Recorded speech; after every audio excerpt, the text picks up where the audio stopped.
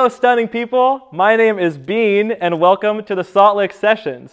Today's artist is a marvel with vintage vocals that will take your breath away. This is Christine Noel. Just like a star across my sky, just like an angel off the page, you have appeared to my life. Feels like I'll never be the same, just like a song in my heart, just like oil on my hands.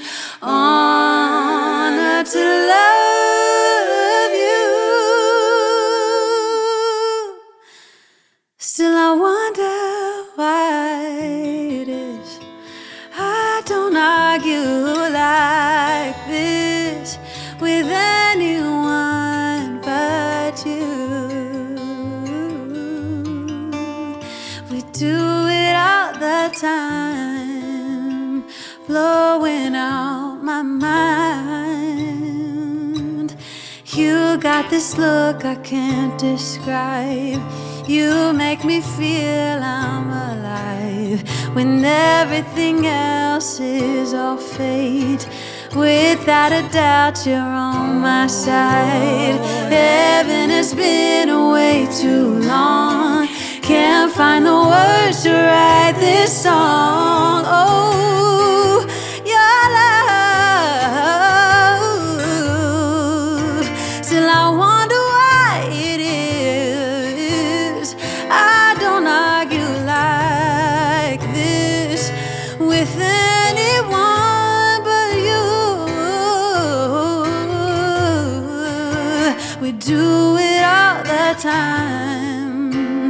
Blowing out my mind. Now I have come to understand the way it is. It's not a secret anymore, cause we've been through that before.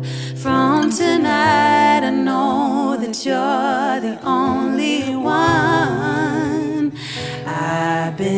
confused and in the dark.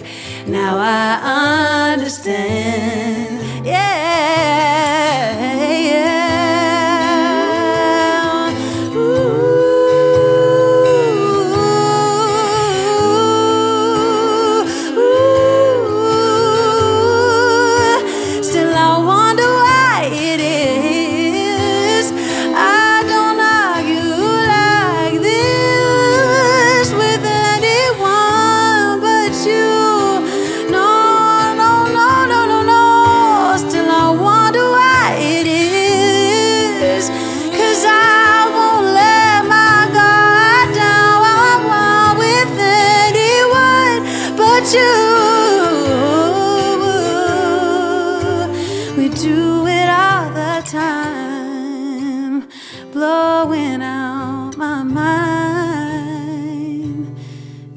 Just like a star across my sky, just like an angel off the page. You have appeared to my life.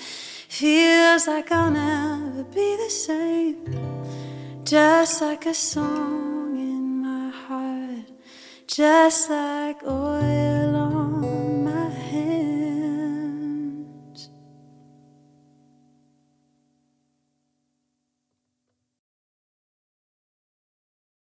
It's been such a joy to have you, to spend time in your space, to hear you do what you do live in the flesh. So let's talk about you and your journey and how you got to be on this stool next to me. It's a long one. So when were you born? Where were you born? Where was the moon?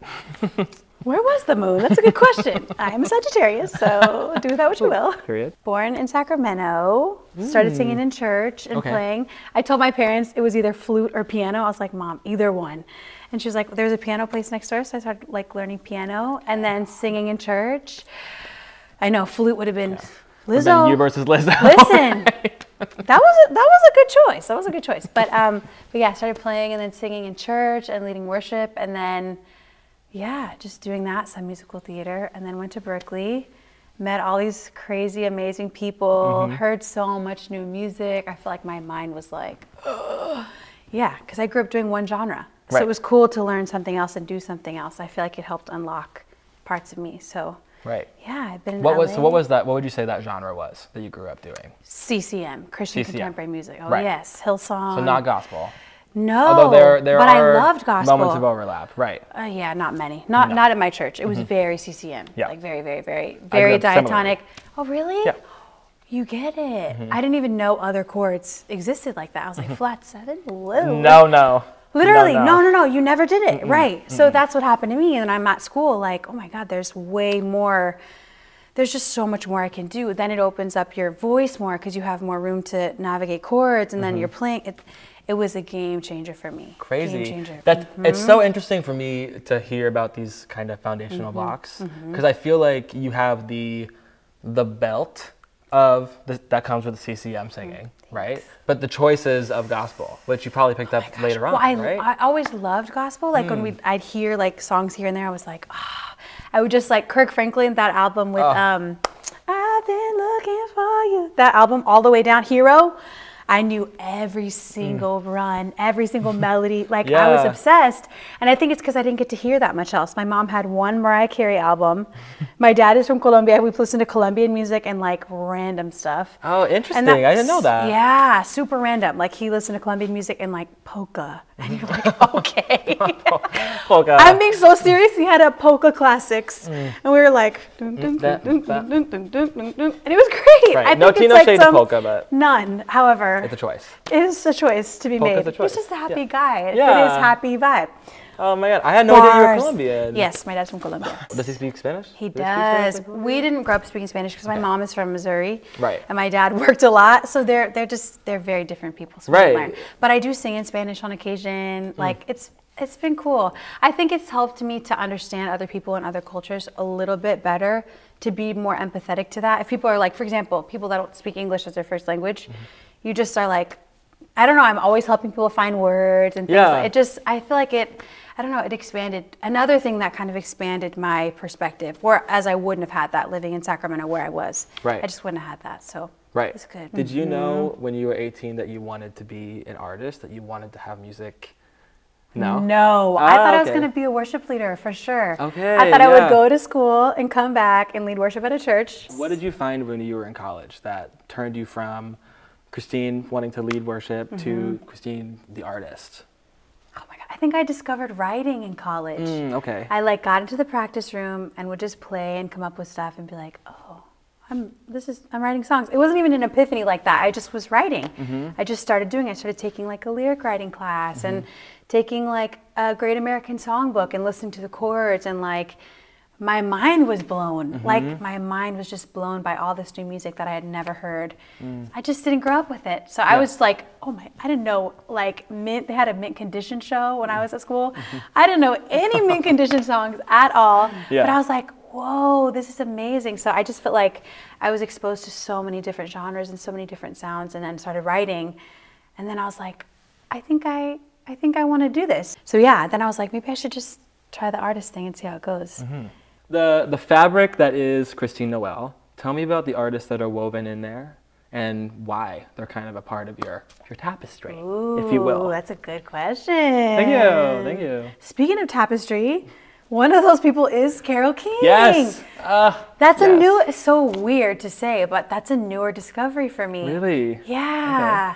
Oh my gosh, it's so actually it's, it is embarrassing to say. No. I saw the musical um, Beautiful Yeah. with my mom when I moved to LA, which is like eight years ago now. We went and I was like, these songs are Mm-hmm. stunning, and to Mm. hear her like to see her story played out was so beautiful. So she's one of those that has been a huge influence, especially lately. And and you know she played and sang and she wrote her songs and she wrote them for other people and she seemed so unapologetically herself Mm-hmm. to this day that I'm like, dude, she's she's she's been really impactful. Um, Yeah. Joni Mitchell is another one. I had to learn some of her songs in school. And I was like, I never knew any of these songs. Literally, Case of You, never heard it. Oh my god. Never heard it. River, Really? Okay. never heard it. Okay, yeah, Until yeah, yeah. college. Right. This is how small my environment was. Mm-hmm. I love 80s music from the 80s. That's another recent discovery. Mm-hmm. So I was on gigs and I learned Journey songs and I was like, oh, Yeah.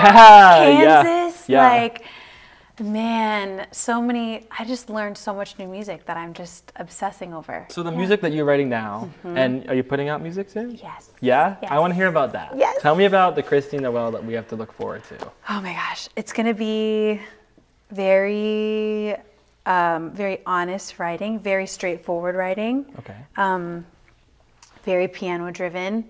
It's gonna be like probably the most me thing that people have heard. That's what I would say. Yeah. Akin to Dreams?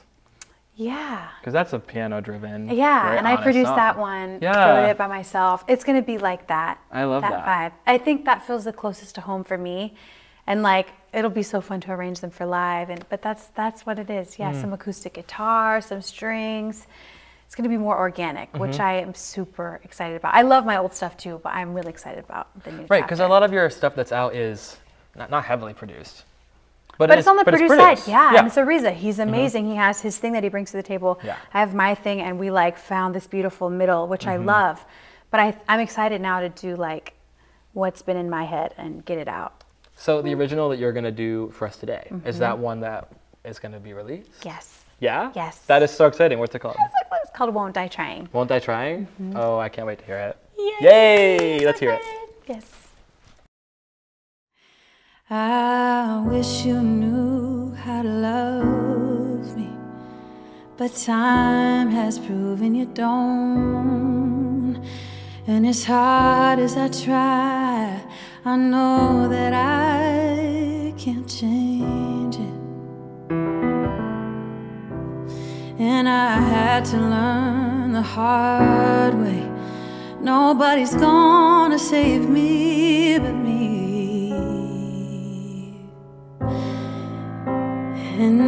I am better on my own. Cause I can't live to please you. Oh, I've given all I have to give.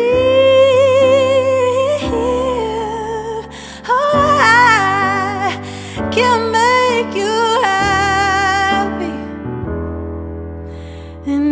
just won't die trying anymore. I know it's hard for you to understand, cause you didn't choose your pain. But I can't be your verbal punching bag. No, no. You tried your best, I know, but nobody's gonna help me but me. And I gotta go my own way in the end. Oh, I can't live to please you. Oh,